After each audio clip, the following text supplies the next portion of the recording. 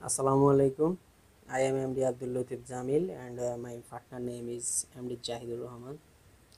Today our presentation topic is the crying suitcase case 1964 Egypt BS Italy.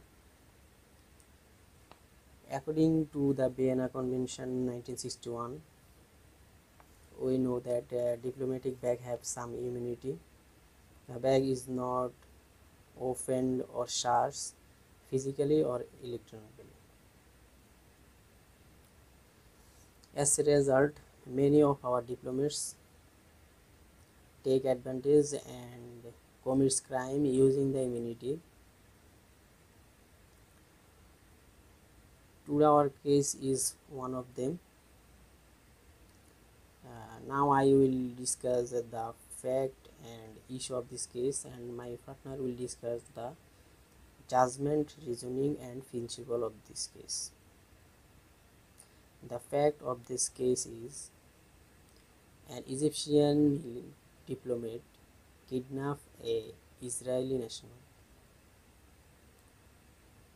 in Italian airport when they caused someone heard the sound like crying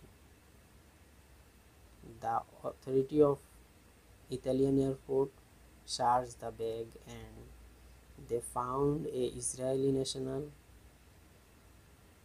in a trunk marked as diplomatic mail. The issue of this case were number one whether Italy has the right to search and inspect the bag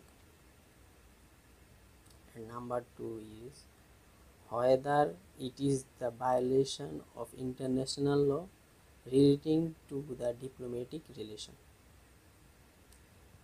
Now my friend will go through the judgment, reasoning and principle of this case. Thanks for listening to me. Assalamu alaikum sir.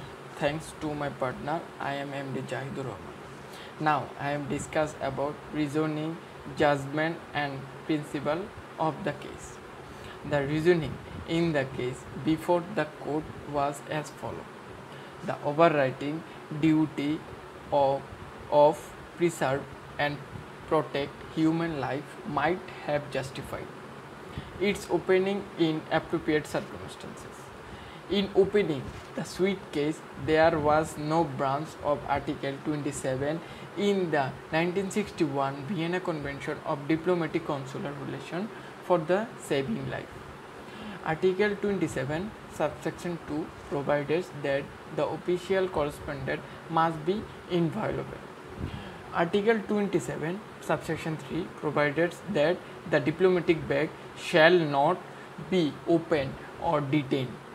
Nevertheless, if the competent authorities of the receiving or transit state have enough reason to believe that the consular bag contains something other than the correspondent document or a chip referred to the paragraph of Article 25, then they may request that the bag be opened by an authorized rep representation the sending state. The judgment.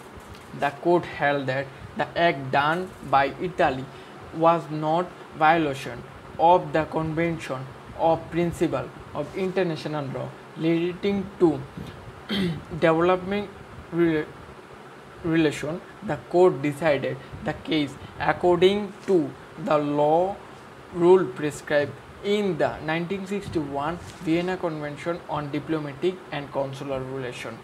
Principle The diplomatic bag do not open or capture.